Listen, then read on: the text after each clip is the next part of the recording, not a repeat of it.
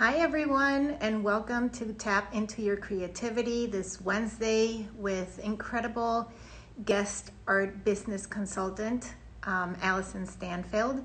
She is going to join us soon, hopefully, and she is going to talk about, um, and there she is, she's going to join us any minute now, and um, you're going to hear everything that she has to tell us about her programs online and how she's been helping artists for such a long time.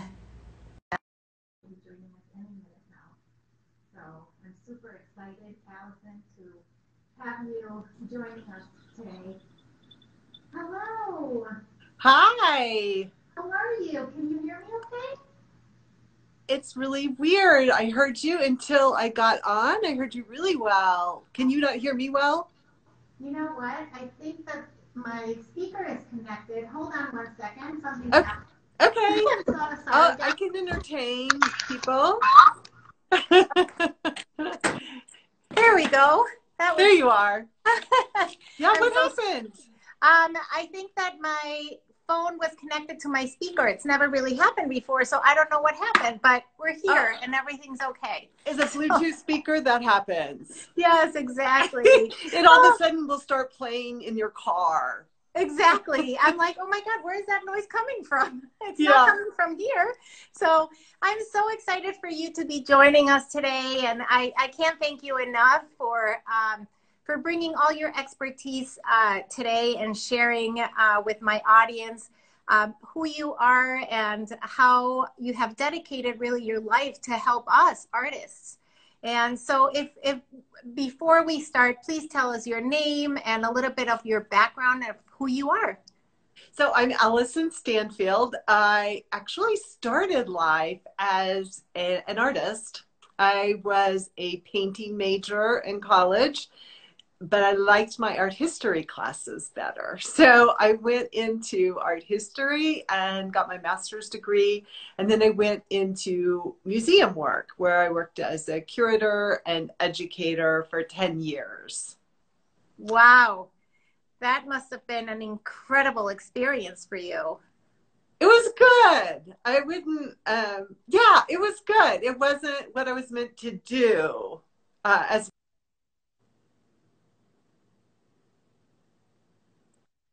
Oh. that, that some weird some spam call came through. um, so after the museum, what happened? So what happened was when you work in museums, you go where the jobs are, right? So if you want to keep going up, as I did in the ranks, you go where the jobs are. And I ended up, I won't badmouth this town, but I ended up in a place where I didn't want to be, where I wasn't really happy. I loved the collection. I loved the yeah, I loved the collection. Let's just say I loved um, some of the people that I worked with a lot, and then, but I just wasn't happy in that place. And I decided that life was too short, and I wanted to live where I wanted to live, and that was in Colorado. And so I sold a lot of my belongings, packed up a U-Haul, and moved to Denver. That was 2001, Okay. and yeah. so, so what made you decide? Okay, maybe I should go into the business world. so yeah that which is super funny because to that point i had also worked in washington d.c for a u.s senator for a while in between undergrad and graduate school. So my background had been graduate school politics or government let's just say more government. I wasn't on the political side but more government and then graduate school and then nonprofits. And not only nonprofits in the museum but also on boards of nonprofits and so forth. So business not so much. So what happened was when i moved to colorado i decided that i wanted to start my own business and was going to be an art consultant. And for those of you who aren't aware there's a difference between an art consultant and an artist consultant huge vast difference so an art consultant actually buys art for businesses for hotels for um, for bank lobbies for wherever They're the middleman.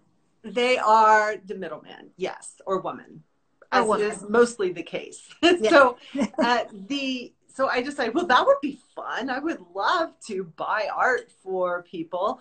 That would be great. And so I did that for. I started that business in the summer of 2001, and then 9/11 hit, and no you know, no one really felt, it's kind of like now, it's kind of like COVID.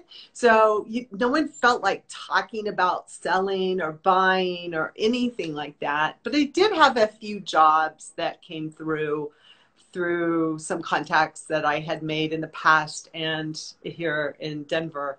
And, um, but then what happened was artists that I had known in my former life found out what I was doing and they were sending me letters because you did they didn't send a lot of emails in those days, but they were sending me letters and they were saying there I don't know what their pitch was. I can't remember. Some of them Help, might have been emails. help. help, help. Help.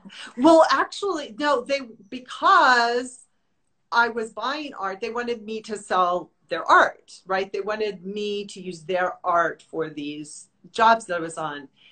And I realized what a crappy job they were doing at the asking. It was like, hey, I can help you. Yeah. so then then it just it's it just kind of happened. Um, people asked me for help. And so yeah, and then the business art biz it was called art biz coach at the time it's now art biz success art biz coach started in the spring of 2002 it And was let's just make a quick reference that you were saying. So now you're an artist, right? So you artist you- business coach artist Right. business coach so it's very different from being um, the middle person versus actually helping the artists. yeah you can say i'm an artist consultant you can't say i'm an art art consultant Correct. Correct. and it There's is a big difference. yeah Yes, it is a big difference because Huge. you are helping artists to develop and um, come up with the right strategies um, to become uh, a better uh, person to put your work out there and to really talk about your work and know how to do all that, right?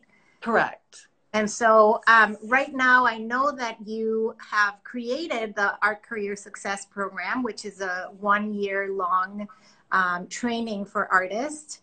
Um, can you talk about that for a little bit? I would love to talk about that. First of all, it's called the Art Career Success System, and that's very important because it is a system.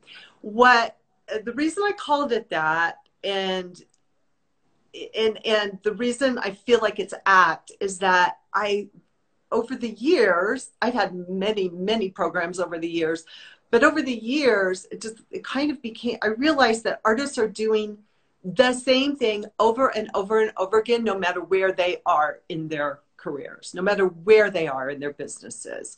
You still have you have to update your artist statement. You have to approach venues. You have to apply for shows or curate your own shows. You have to create content. So you have to do these things over and over and over. You just do them from a different level right? So I created a system that artists could use at any point in their careers.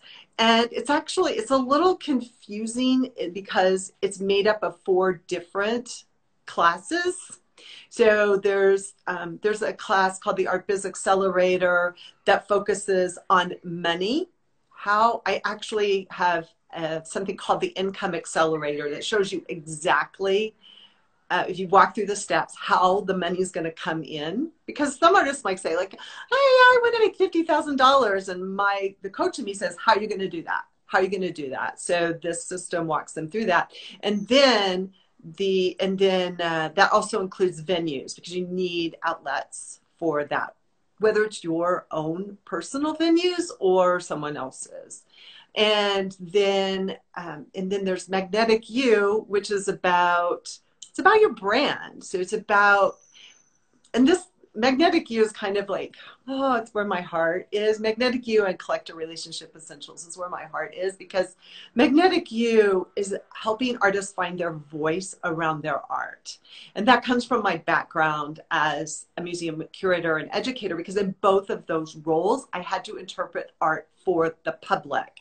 So it, it was either relying on artists' words or interviewing artists, talking to them about the work and translating it for the museum because I understood how powerful that moment of connection was.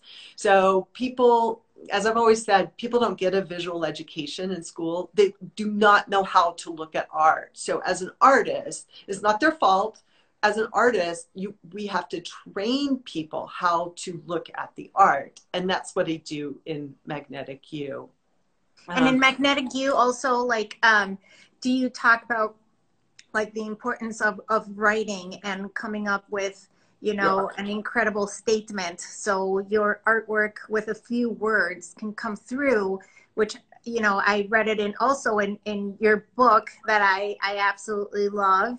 Um, I'd rather be in the studio. Uh, the artist no excuse guide to self promotion. Longest um, title in the world, yeah. Yes, but it's okay. it's okay because it has so many amazing uh, points that um, I think they resonate with each one of the um, artists like myself. And, um, you know, you really talk about, you know, how important it is to use your words um, and to come up with your artist statement, which is huge, right? Well, it's huge, not for other people, it's huge for you. Right. More than anything else. Right. Um, it's huge for you to be able to articulate that because once you can, and it sounds so simple, right? It's, it sounds like like you should know about that, but it is the hardest thing to do because it's one thing to uh, communicate visually; it's another thing to communicate in writing or orally. And when you go through a very detailed process, like I walk you through in Magnetic You, of writing that statement, and I have you do some things that are uncomfortable, but you go through it, then you have the language that you need to promote your art. And that's just the backbone of all your marketing. Yeah. Okay, so what is the fourth phase of the system? Oh, there's so that after uh, actually I said two. The third one is creative content camp. It okay. was created because artists are like, what do I say? What am I supposed to say online? And so it is a whole class to help artists develop content. Okay. Um, to give them hundreds of ideas for content and then to put them in an editorial calendar. And the fourth one, again, where my heart is, is collector relationship essentials because building an art, a successful art career is all about the relationships that you establish and nurture throughout your career. So, meaning like keep your connections, keep calling them, keep sending them newsletters, keep connecting with them at some point. Keep connecting with them. What I would, uh, let me, what I would put it as is these people in your life uh, are in your life because they care about you as a person and as an artist. They like your artwork. So keeping it from them is doing them a disservice. It's doing the relationship a disservice. So it's about doing it authentically rather than bombarding people or nagging people or anything like that, but really caring about the people that you come in contact with who, especially those that have asked to hear about your work and those that you want to form relationships with. So not just, you know, not just being satisfied with the group that you have now, but you know, who else Opening do you need to know? Yeah. Yeah, for yeah. sure. Um, and you also have the Art Biz uh, podcast that I was fortunate enough um, to be a part of, and we had so much fun. And um, so tell us a little bit about your podcast. Well, the podcast is actually the second iteration of the podcast. And the first one was a long time ago. It was like, I was one of those people that just tried everything in my business. So I had a podcast from 2006 to 2010 and got really bored with it because I was just reading my newsletter. And I was really bored. And if I was bored, probably other people were bored. But it's crazy how many people listen to that and still do listen to it. Um, and so that was the first iteration that stopped. And then the second iteration began again in 2016. And I am still to this day letting it be what it wants to be because um, started this one thing, and then I thought, here's what I wanted. I want to share artists, not me, but artists who have a business lesson to share. So, um, real life examples of business lessons from artists, and and managed to do that.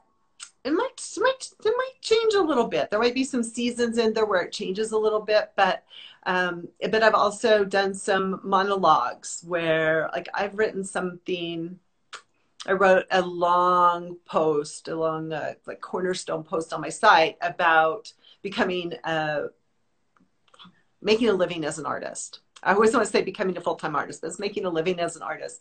And and I thought that should be a podcast. People should listen to this also. So sometimes I'll write a long substantial post and turn it into a podcast too. So I kind of just let it be, you know. I don't yeah. want to I want to don't want to be bound to anything yeah, just sure. because that's the way it was. So, Alyson, what do you define as a successful artist? I love this question. Okay. So, a successful artist, in my definition, is one that shows up in the studio every day. They show up in the studio every day. They challenge themselves. That challenge has to be there. If you're just painting what you're teacher taught you, if you're just, you know, going through the motions every day. But successful artists challenge themselves. That's what art is all about. It's always about um, evolving, pushing the envelope, testing things.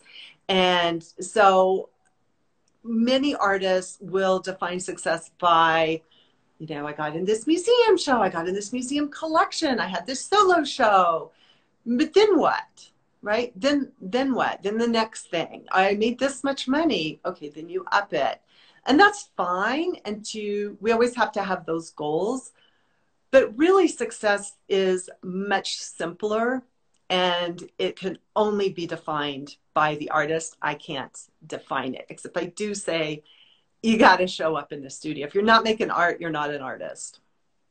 Right I, I love that. And I love what you said. I mean, success is really what you make it your, your own success and putting yourself, you know, in, in out of your comfort zone and pushing yourself. It really, really helps um, to get to, like you said, sometimes it gets to the uncomfortable part of it. Like you talked about um, sometimes you give exercises that are not fun. Yeah. Uh, and sometimes coming to your studio can be challenging and not fun, but as, at least you're showing up and you're doing the work. The studio should be challenging. Now, I, I said I was started out as a painting major. I took all the studio classes and I know how hard they are. Um, art essentially, and I can't remember if someone said this or if I heard it on a podcast somewhere, but I thoroughly believe that art is about solving problems. So great art, um, and it uh, puts a, a question out there and then solves it with it, like it attempts to solve it. And so if you're not doing that, you're not evolving as an artist. Yeah, I, I actually I love that. So, um, and it's great. And you know, you do you evolve, you learn, you you know, you not necessarily you're going to uh, look back at 15 years ago and have the same painting that you did 15 years ago. Hopefully, you have changed and evolved and, and moved on. God, right? I hope so. Yes. exactly. Yeah. So, yeah. I look at some of the things that I did 15 years ago and some of the classes that I taught and the workshop that I did, and I go, oh, those poor people. right. Because, you know, can I try again? Can I please try again? I can give you better stuff now. Yeah. Exactly. Yeah. Exactly. um, another question that I have for you is what is the most important question that an artist can ask you? so a, yeah. I have to like I have to tell on you. You gave me a couple a few questions ahead of time and I picked this one out, but I'm totally gonna turn like turn ranks on you right now. Okay. Because you can that question assumes that I have the answers just right there, right?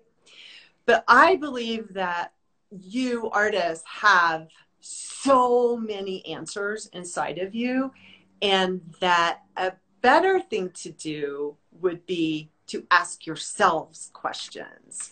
So I have three pages of questions you can ask yourself. We're not going to go through them all right now, um, but but I can give you a link to them.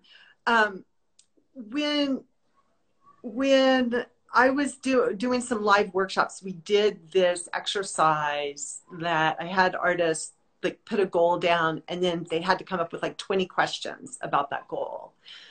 And I think this is really important because we can find answers so quickly right now. You told me also that people are telling you they're looking for information. Google it. It's all out there. Everything is Googleable, as they say. Everything is out there. But it's harder when you really want to. Like, so if you just ask me a question and I give you an answer, what do you learn by that? That's so surface, right? That's so surface. It doesn't help you go Bro. further. Yeah. And so, really sitting down and asking yourselves, um, you know, it, you know, if this is my goal, what are all these questions about? And I can give you some examples if you want. Or yes, please. We would love me some, give you some yes. examples. Yes. Okay, so let me let me ask you this. You have your choice of categories for questions. I have a bunch of categories. When you'd rather not market, when sales are slow, when you're too much in your head, when too when you're too busy, when you're overwhelmed, when you're not making art, what category do you want? Um, when you're not making art. When you're not making art, um, you can ask yourself, why am I not inspired? What can I do about it? What am I prioritizing above my art? And is it right to do so? Because it might be right to prioritize something today. And then one year today, will I be happy that I chose to spend my time in other ways? So, uh, someone just said all of the above. I was going to say all of the above myself, but then I figured you wanted more specific. So, um, keep going, Alyson. Yeah. So, um, I think, you know, some of the, let me say, oh, that was the list for that. But the, why do I um, like when sales are slow? When sales are slow, or not at all? where, where am I not making my best effort? Where have I been inconsistent? That, that could be in the marketing or in the artwork itself. Where have I been inconsistent? Have I outgrown this sales venue? Has my work, how has my work changed? Is it bigger, you know, different colors? How has it changed so that it's no longer selling? Um, am I following up on potential sales? And then, um, and then let me just say that at the end of all of this, when you come up with a question, the next question is always a why question. So Charles Duhigg, who wrote the book Smarter, Faster, Better, he also wrote a book about habits, but he wrote the book Smaller, Fa- uh, Smarter, Faster, Better, Better, Smarter, well, something like that. um, and it is so good. He says true meaning comes when we ask the why questions. When we, so I always say like the next question is why. You know, okay, if this is the answer, then why is it the answer? Um, and I so there's here's some other questions that you can ask um, what can I change? Where do I need to hustle? Where do I need to create space? Because sometimes we're just so busy that we don't, we're not able to see big picture. We're not able to plan. You know, we're just, sometimes my day goes by and I'm like, this was a crappy, unproductive day. I did a lot of things, but I didn't do what I really wanted to. I know everyone on this call can relate. Yes. Um, how can how can I challenge myself? That goes back to what we were talking about earlier. Here's a good one. Who do I need to introduce myself to? Yeah, I think that is a great one actually, because I think that, and I and I talked about this on on the podcast, because you asked me how are you reaching all these people, right? And I said, well, I'm just asking. So yeah. if you don't put yourself out there, and if you don't make that, you know, that push forward, no one will do it for you. Yeah. So yeah. it's very important that you know you take that first action and you go for it. And you might you know say no this is not going to happen or thank you so much but we're not taking you know art artists right now or you know you're probably going to be on a no a lot of the times. Yeah. but you have a thick skin. You can you can do it. You can keep going. And you, finally you're going to find someone that is going to say yes. Yeah yeah, you are a great example of that because you knew you wanted to do something. You didn't know, you didn't worry about how it was going to be done. You're just like, let's go forward with it. When that shows the commitment, and when you have that commitment, then you'll figure out the how part is easy. You'll figure it out. Yes. Yes. You, it's Googleable. It's Googleable. And like I said to you, like I wasn't tech savvy. I had to learn at nights. I was, you know, doing things that I'd never done in my life, but I'm like, I'm just going to do it. I'm going to figure it out how, but I'm going to yeah. do it. Yeah. That's, that's great. Yeah. It's, it's a really good example. Um, here's some, here's some questions for the times. This is actually something like if we were coaching together, I would I would ask this of you. So, um, so you should ask this of me. This is one okay. of those questions you should ask of me. It's, what do I already know that will serve me? Like, what skills do I already have that I can use in this moment? Because it is a moment. We are having a moment. And then, how can sure. I leverage what I've already created? Like, why do I?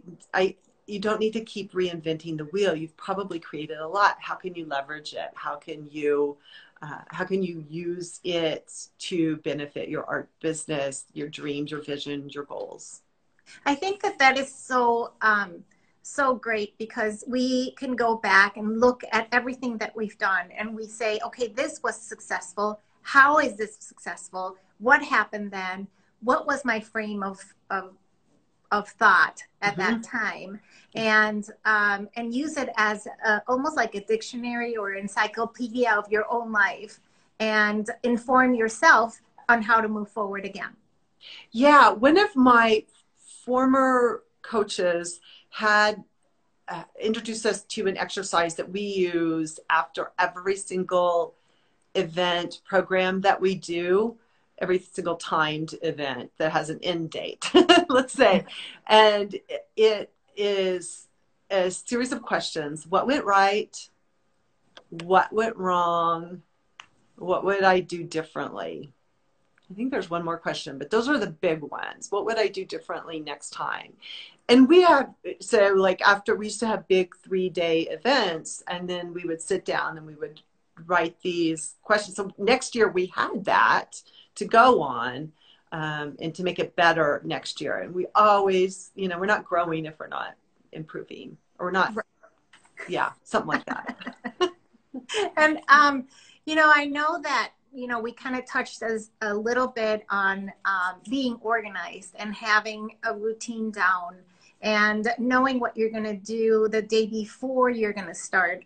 So that takes a little bit um, the pressure off on the day off. So um, if you know what you're doing the next day, um, it really you can sleep better that night or if you have you know a pad and a pencil next to your bed and you just write down everything that you have in your head um, the night before then all those thoughts go away and you can have a better night's sleep and then you'll be fresh in the morning and you know what to do yes exactly exactly. That's not that i think comes from my book. Does that come from my book? Yeah i mean I, I i i've done it myself and i i love it because i think that it is so powerful to have a routine and especially now that we are living in such uncertain times and we have no control of what's happening we can take control of ourselves. And one of the ways that i have found that it helps me is to have this routine. Absolutely. Absolutely. And routine is uh, the routine that you're talking about is actually planning the next day. So yeah. your next day isn't routine. It looks different every day, but it's the practice. I'm going to call it a practice of planning the next day. And I didn't make this up. I just kind of made it up for artists. I just kind of packaged it for artists nicely. Um, but it is I know this because there are days that I don't do that, that I don't look at my next day calendar. If your next day calendar is blank, if my next day calendar is blank, I just do a happy dance. That's like the the biggest gift ever because then I know I can work on big projects. But if it's, you know, if it's full of, as it has been the last few days, of call after call after call spread out a little bit, then I know that, um, sorry, just a second. All these, I didn't stop notifications. Um, then I know that um, I can't do anything big. Like I can't work in big chunks of time. I have to have smaller projects to fit in there. Um, yeah. But I used to teach a course called Get Organized that was then called Organize Your Art Business. I taught it for years. And the funny thing about it, the two funny things about it was people took it over and over and over and over again.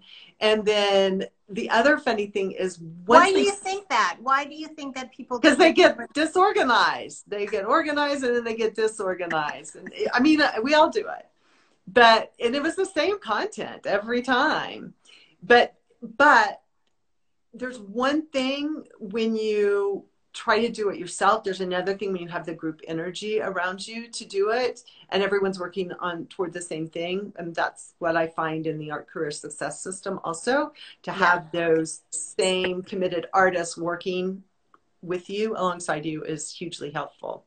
But the second funny thing that happened with that class is the minute people signed up, we often had early registration, you know, like a month out in those days uh, people started getting organized way before class started. Right. Right. They pay the money and then they start cleaning out the closets and everything um, every single time. oh my goodness. It was cute. It was really funny. and and you you really emphasize on the no excuse. Um, yeah. So can you talk to us a little bit about that? Yeah, it's kind of hard. It's kind of a hard thing to say. There's difference between reasons and excuses. There are real reasons why you can't do something. You're sick. You're someone, a member of your family is ill or has passed away, or um, as happens to me, my a cat um, is a, cat dies. I mean, I write me off for two weeks when that happens, and there's just there's reason you need a break. There's reasons that you don't get something done. But when you're continuing to use those reasons over and over and over and over again, it, they become excuses. And one thing, uh, one of the books that I read when I first started my business that became kind of a Bible was Jack Canfield's The Success Principles. Um, Jack Canfield, for those of you who don't know, it was one of the co-founders of Chicken Soup for the Soul, yes. Chicken Soup for Everything uh, books, and this this success principles book was just you know every principle was like two, three, four pages long. They weren't long, so you could just pick it up and put it down. Still on my shelf. I loaned it out once. I got it right back. but it is, I was like, you gotta get, you gotta be careful with this one. Um, one of his big things is taking 100% responsibility for your actions. And I have witnessed repeatedly artists who won't do that, who blame others for their lack of success, who, you know, who get, who are, who talk bad about other artists because they're doing well and, and, you know, this and that. Um, but they refuse to accept the responsibility for what they are or not, are not doing. It's usually what they're not doing. Uh, so I think once you agree, and actually anyone in my program ha- has a form to sign that says I take 100% responsibility because my courses are on demand. So it is really, I mean, it's always up to, I can give you the information, but if you don't do anything with that, if you don't start implementing, right. it's not going to do any good. Right. So I cannot, I cannot give you a, re, a refund. I cannot uh, come and hold your hand for you at some point if you want a business if you want to be that successful artist you have to set aside the excuses and take that 100% responsibility and get to work so um, now that with um, you know with with covid and everything that we are living in right now um, do you find yourself um, being bombarded again by artists on how to move forward? Are you um, helping online? Um, are you doing uh, courses or classes or um, you know anything that are helping people at home? So yeah, so it's interesting. I'm, my business hasn't changed all that much because it was because I was always online. I've been doing Zoom calls for more than five years, so it's always been part of my model. Before that, we were on the telephone in groups, so it, it is it is not my business model hasn't changed. Um, I shouldn't say that. The business model has changed. The offerings have only been added to. So when COVID hit, hang on, I'm gonna get a sip of water just real quick. Yeah. And I'm, I, you know, I think I'm going to turn off the comments and I'll turn them on again at the end because then I can see you. Oh, I didn't know you could do that. Yeah. So, so when COVID hit, I my word for the year is lead, and it it stuck with me like a word for the year, like no other word has ever stuck with me. Well, one other word, clarity, stuck with me one year. But th- this really, so I thought, okay, that's my word for the year. What do I do now? How do I lead now? And so immediately, I think April 1st, April 1st, we had a summit for teaching online for artists. It's the Teaching Art Online Summit. and we had six, seven of us going through different platforms, showing artists what was available for them to get their courses up. Then in May, we did, I did a workshop with Gigi Rosenberg for introducing yourself online, like how to make a better online presentation. Um, and then now, because I did the Teaching Art Online Summit, uh, artists are putting their classes online, but they don't know how to write sales pages. So I would go to these artists. Uh, there were these pages where artists were trying to enroll people in their courses. I'm like, oh no, they're missing so much. I need to teach artists how to write sales pages. And I'd actually done that with private clients before, but I had put together a workshop that's July 23rd and 24th for writing sales pages. And That's if you amazing. go, yeah, if you go to artbiznow.com, you'll see a link for that. Okay, fantastic. Yeah, yeah. So I'm just trying to adapt. What I was going to say is, I had I had these workshops planned in. I was going to. I don't even remember where I was going. In, oh, uh, Vancouver, Washington, and then Detroit, and then Maine, Rockland, Maine, and I had these workshops planned, and I was about to book some more, and then COVID hit. I was really lucky that I didn't have hotel contracts because I've had a lot of ho- hotel contracts in the past number of years, and it was just such a blessing that I didn't have those. Um, so it was pretty easy to pivot, cancel those. Although I'll tell you that first one, But are you continuing on Zoom with those or not? not yet because Okay. they were super interactive. My workshops are always interactive in person, but I am adapting them and going to figure out how to do it. They were marketing plan workshops. So I was going in and walking through these artists, uh, walking them through a process where they left with a marketing plan. And so, and to do that, they need to work with each other. And you can do that in Zoom, like breakout sessions. I can do that with people, but it, um, I hadn't gotten to the point where I needed or wanted to do that yet. So maybe in the future that'll happen.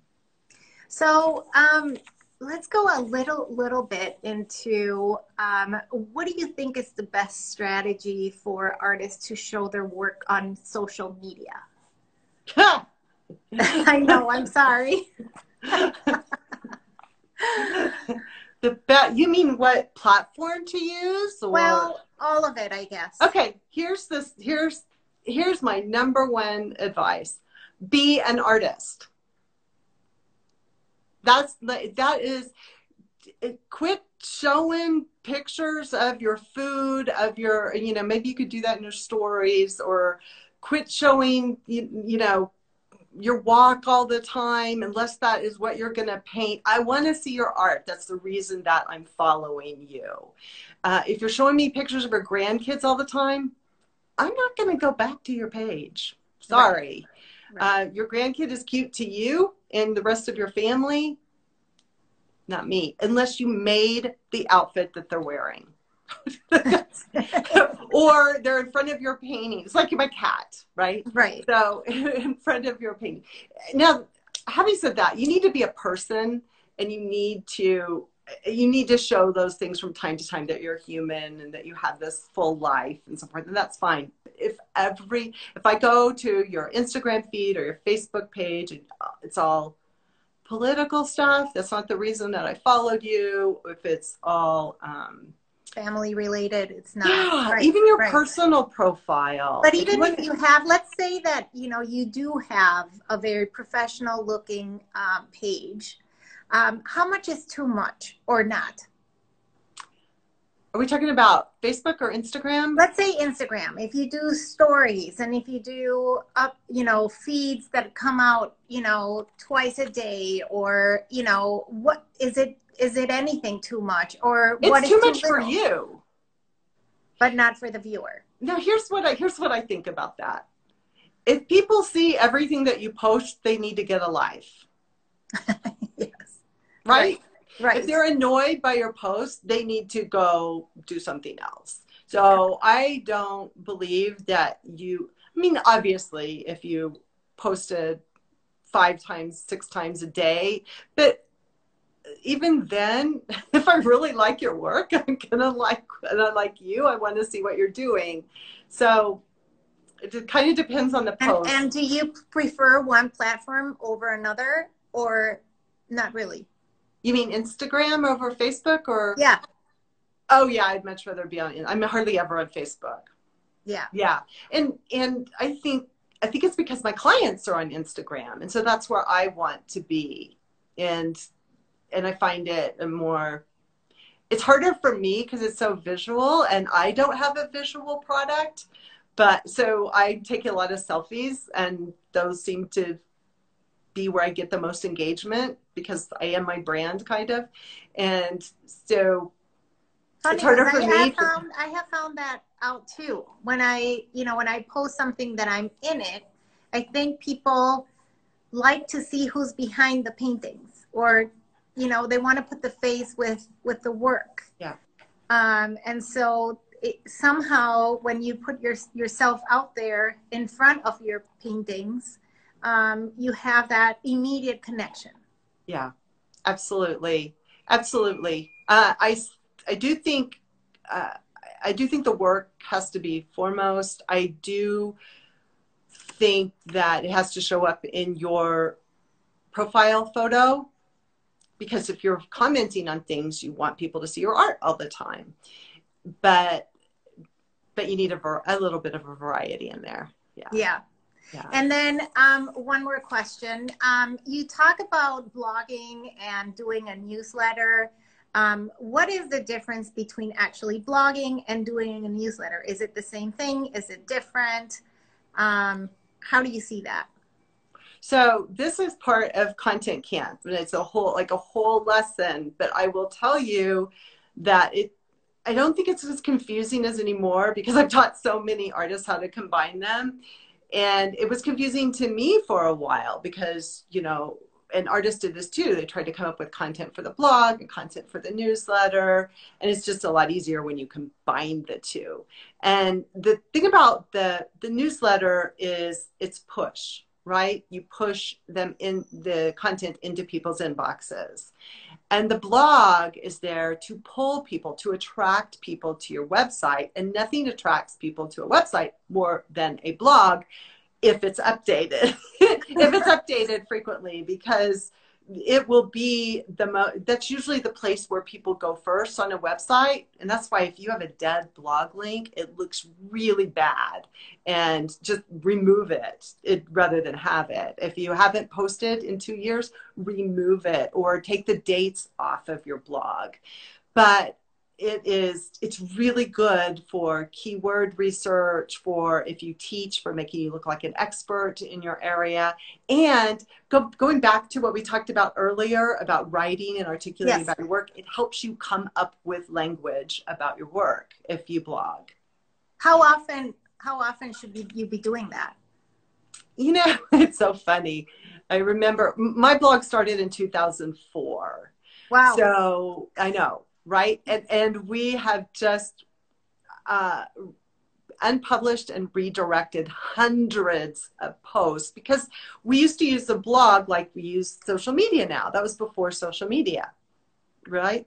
So we've just uh, unpublished and redirected all of those old posts that were like, I'm giving a workshop in Michigan this weekend. from 2005 you know? So the um okay what was the question? So, so how often you should be how often you should post. Yeah. So i used to post like every day right? Like like it was social media. And then when i i actually taught a blogging course for artists and it was we suggested five times a week. Now i say like once every week or two would be great if you could do that. If it's a good post, if it's strong, then then it would be really good. And then you have that content to share in your newsletter the next right. time. You give a little teaser, you say click here for the whole thing, and boom, you're leveraging your content.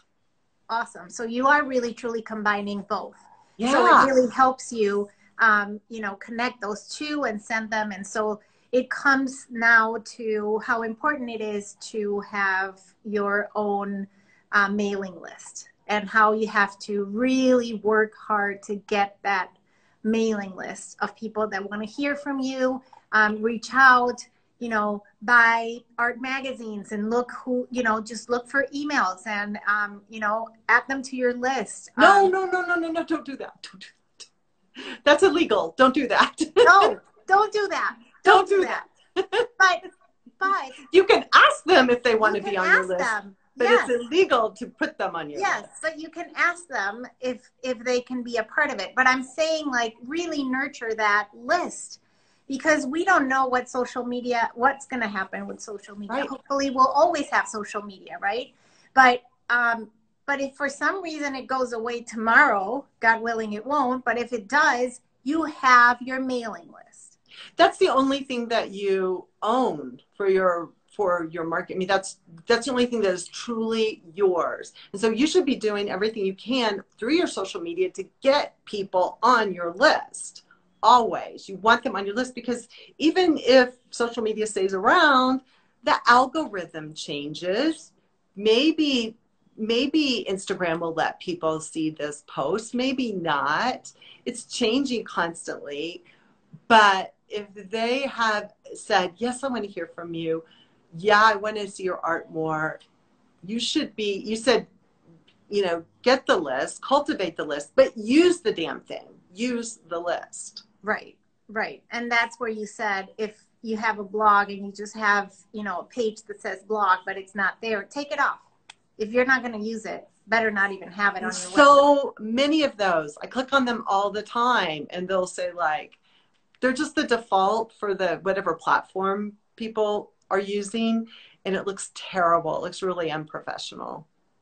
So um, alyson tell us where we can find you what's coming up for you um, so you can find me at artbizsuccess.com i really want to plug the art career success system because i believe it's my it's my signature work it is a game changer for people who are serious about creating a strong foundation for their business and who also want to be part of a community of artists who are doing the same thing. That's at artcareersuccesssystem.com.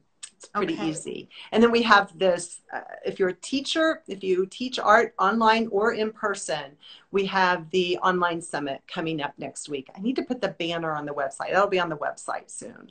And it's um, a two day right? It's, it's two day. It's two. It's short. Like there is an hour each day. I introduce it. You do your homework, and then I review some of the homework the next day and show you how to make better sales pages. great. That sounds amazing. So for anyone who's interested, I'm gonna just post everything on my feed. Um, it will be posted at some time with um, Alyson as well. And if you guys, I'm gonna turn this back on real quick. Um, sorry about that. Um, if you have any questions, um, you can send them to me or to Alyson. We'll be happy to answer anything that you have your way. I mean, coming our way, we'll try to answer it. And um, this was so great, Alyson. I can't thank you enough for sharing all your knowledge and your teaching with all of us. And I think we learned so much today. And this it was is what fun. This, I know this is what this platform is all about, right? It was Opening fun. up and Can I just say, don't hesitate to send me a direct message on Instagram. I'm if you have any questions, I'm happy to answer them there. But oh, thank you, thank you, thank you all. Thanks, Brenda. Thank you. Um, thank you all for tuning in, and uh, I think we all, you know, we're all taking um, something from today, and and this is it's just no words to thank you for coming in and trusting me, and. Um, Congratulations on raising $10,000 from the first set uh, for the first sale for doing this. And, and really kudos um, to all the artists who are contributing to this cause for Feeding America. Thank you for doing this, Sandra. Thank you, Alyson. I'm so excited. I'm so happy. And uh, thank you to all my army of artists. And we'll just keep going here. Do it. Bye. Thank you, guys. Bye bye.